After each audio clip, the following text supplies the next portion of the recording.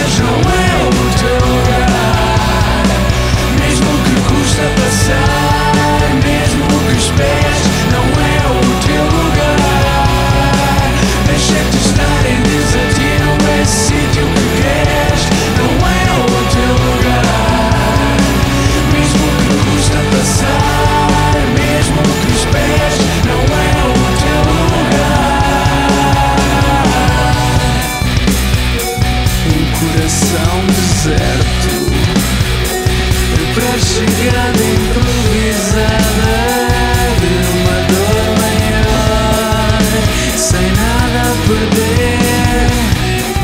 Uma viagem planeada, vazia de intenção, erros, estratégicos que o destino oferece, sem qualquer razão.